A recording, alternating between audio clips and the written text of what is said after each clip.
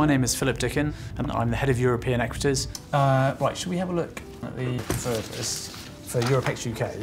We run a number of different strategies, whether that's pan-European, including UK, Europe ex UK, small cap, or dividend funds. Europe's home to many international companies which are global market leaders, so whether that's luxury goods or consumer staples, or even at the small cap level, a number of the companies that we invest in, while small, would actually still be global leaders in their niches. We invest with a quality bias to the, uh, the stocks that we invest in. So when we look at a company, particularly with a smaller company, we're looking very much at the strength of the business model. The capex you spend this year is for production next year. Uh, how much of the actual capex is unnecessary? Porter's Five Forces is the analytical framework uh, devised by Michael Porter back in the 1970s. He was a Harvard professor of business, and what it looks at is the strength of the business model based on the barriers to entry, the uh, threat of substitution, the power of suppliers, the power of buyers, and the rivalry within the industry. So we use this methodology to try and analyse how strong the company really is and why they can generate the returns that they do. And is that sustainable over time? What we try and do is invest in areas which are less subject to the political vagaries of the market and companies that can thrive whatever the political weather. The, the good scenario, they say we're going to sell X billion of assets and buy back shares, so is that right? The European team is built up with uh, a number of different investment professionals. We are 10 investment professionals plus three support staff, and we have a mix of people, whether British, uh, French, German. They bring different ways of looking at companies and different biases. And so the day we all agree on stocks or sectors or positioning, that's the day when we're failing as investors because we should constantly be questioning. Why do they have to have an oil services company with a drilling business attached? The good thing about the European team is that whilst we're experts in our particular area, we're actually supported by a much broader team, whether that's other equity specialists, UK, US, emerging markets, or, or, global.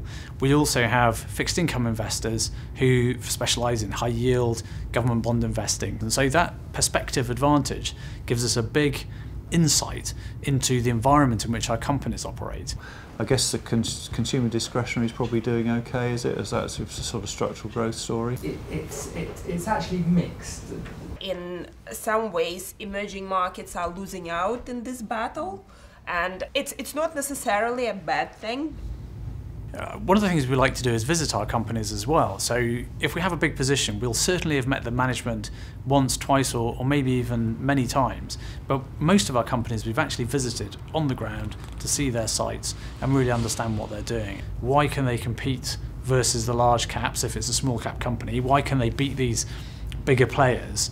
And why should the equity be exciting to us as potential shareholders? We see a lot of companies in Europe so the Eurostar is a fantastic facility.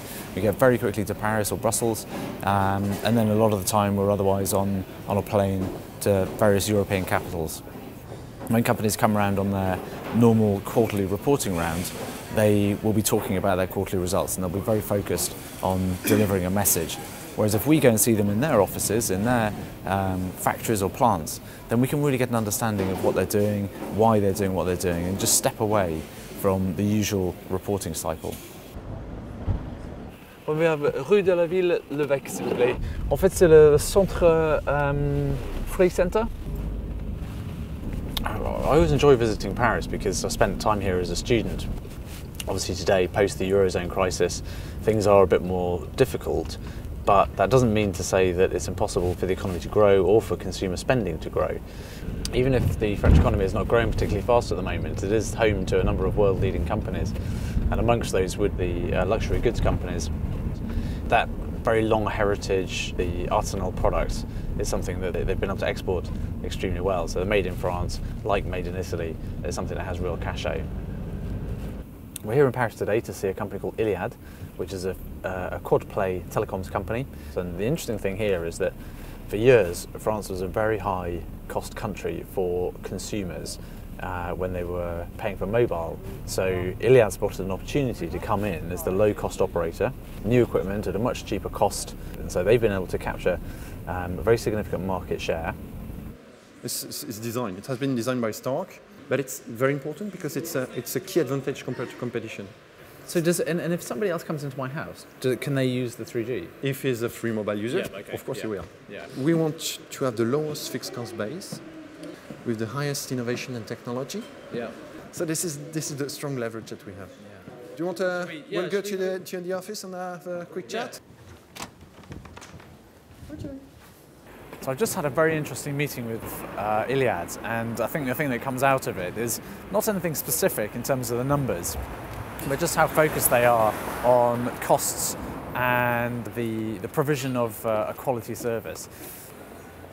It's all very well sitting in London listening to analysts explain what a company does, but I think it really brings it home when you come to the uh, the site of the uh, the company, you meet the management in their offices, and you really get a better understanding of why they're doing what they're doing and how they're doing it better than the competition.